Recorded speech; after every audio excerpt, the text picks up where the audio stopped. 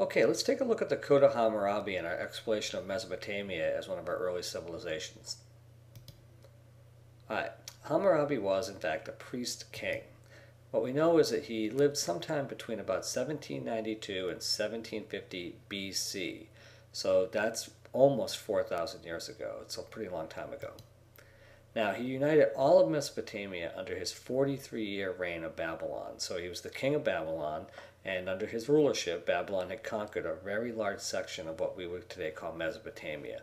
All right, so let's take a look at this. The most famous thing that um, people consider uh, a contribution from Babylonian society that would have come from Hammurabi is his code, the Code of Hammurabi. And this is actually a picture of the code on the right here. And this is what we know about the code. It had 282 laws that regulated economic, social, and moral affairs. So the Code of Hammurabi is essentially a legal code. In this case, it's carved on a stone stele. A stele is a big stone sort of tablet, uh, basically placed in the middle of the city where everybody would be able to read. In fact, this image at the top of the stele is considered to be one of the only images of Hammurabi that may exist.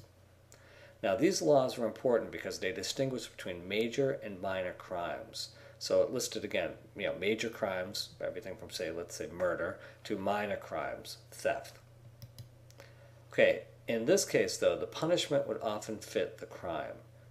So this is an interesting thing that the, the punishments that people are meted out are the types of punishments that would be appropriate for the type of crime that may have been being committed.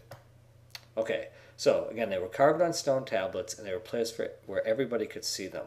Now, that's important because basically it means that you couldn't use ignorance of the law as an excuse. Even if you couldn't read, it essentially this tablet would be placed where everybody would have seen it, and if you couldn't read it, at some point somebody probably read it out loud to everybody around. So ignorance of the law could not be used as an excuse to basically violate the law. Alright, so why is this important for us? Because this serves as a foundation for future codes of law.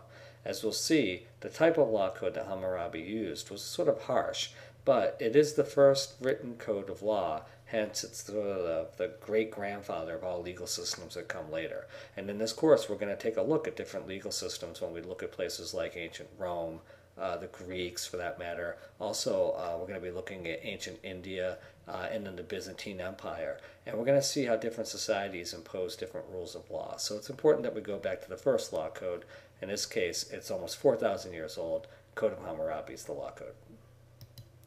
Let's take a look at some examples. These will be some of the ones that we sort of cover in class as well.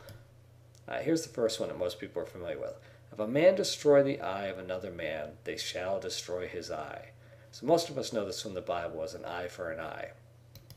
Here's the next one. And this one says, If a man knock out a tooth of a man of his own rank, they shall knock out his tooth. So eye for an eye, tooth for a tooth.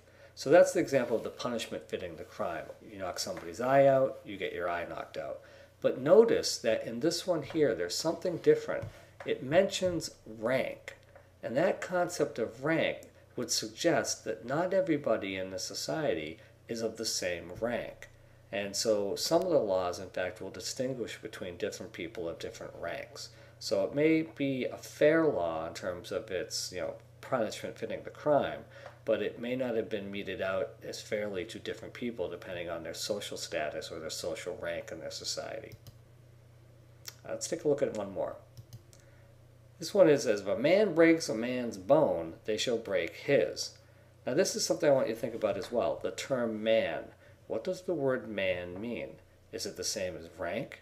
Is it the same as gender? The idea here is that maybe, you know, when we look at many of these laws, they don't have the word woman in them. That doesn't mean that women didn't have rights, but man may be a distinction of rank, not necessarily a distinction of gender. All right, and the last one we'll take a quick look at is if a son strikes his father, they shall cut off his fingers.